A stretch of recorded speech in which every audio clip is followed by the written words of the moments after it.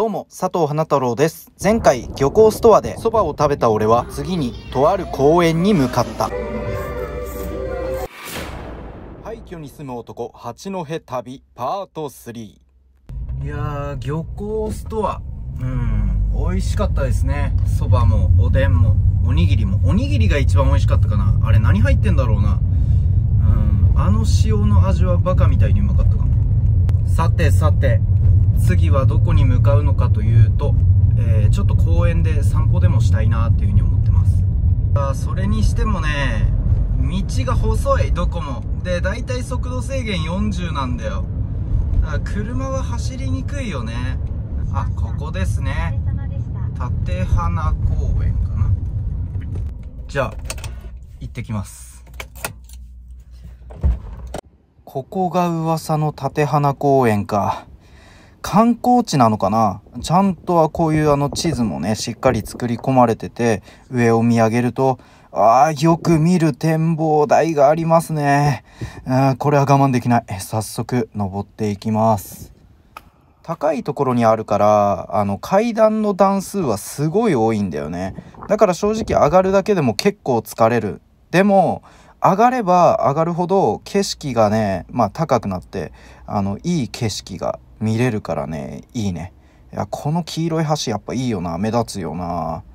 でこのウッドデッキもね素晴らしいです。はい。でまだまだ階段が続いてるっていうね、うん、展望台まではもう少し頑張ります。まあ頑張るってほどでもないけど青森旅行中はジムに行ってないんでまあこのくらいの運動はねしといた方がいいかなっていうとこでまあいい運動になったかなっていうふうに思ったりもしてるけどまあただ階段上がるだけだからねそこまでの運動ではないか。それで最後の階段を登るとこのように展望台が現れます。えー、これですよこれ。これよく見るやつ。早速ねちょっと登っていきます。中に入ると結構中は綺麗な感じですね。自動販売機とかもあります。で自分はあのあえて階段を使いました。エレベーターもあるんですけどあえて階段を使ったんですけど深く後悔しました。すごかった本当に。で階段上がるとねこのように八戸の景色が一望できます。いやなんかねまず海が綺麗よな。うん海が綺麗で空もねかなり晴れて恵まれましたね。で、えー家がいっぱいありますね。うんこの家のどこかにただああ何でもないわ。あのたあたあいやいや何でもないわ。うんまあ、うん、いろんな人が住んでるんでしょうね。うん。でこの黄色い橋ですよ。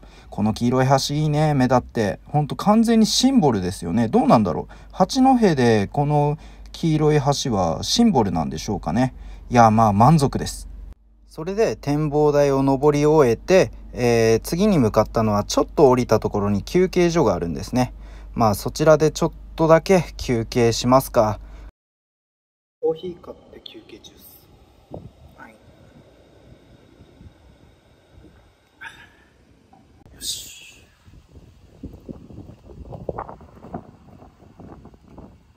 ここで休憩すると弟と不仲になるという曰く付きの休憩所を後にすると目の前にこの黄色い橋が見えます。でさらに奥の方を進んでみるとあーこれまた見覚えのあるものがこれそうだよな。これそうだよね。すごい見覚えがある。あいやここれそうよな。絶対そうよな。いやまだ油断ならないな。もうちょっと近づいてみないとわからんわ。うん。いやあああどうもこんにちは。うん。いやいや多分そうだと思うんだけどちょっとこれ尺長すぎるか？ちょっと尺長すぎるかな？俺の歩くスピードが遅いのかな？いやどうだ？どうだ？どうだ？来いよ。来いよ。来いよ。どうだ？どうだ？どういやこれだ。いやこれだわ。動画でよく見たやつだ。動画でよく見たやつ。うん。っていうことはあの曲のサムネイルも撮影できるんじゃないか？まあまずとりあえずねこのブラックコーヒーをえ飲んで心を落ち着かせます。は あはい。はい。サムネイルの画角ちょっと違うけどうわ満足。はい。まあ満足したんでこの公園を後にします。はい、えー公園をちょっとうろちょろしました。でまあ天気いいんで今日。今日天気いいんでちょっともう一箇所展望台みたいなところ行きたいと思います。ここから13分くらいのとこかな。まあ行ってきます。まあ今さっき言った公園から次に行く展望台まで結構すぐなんで、えー、ちょっとノーカットで垂れ流しにしたいと思います。じゃあ曲でも流します？じゃあミュージックスタート。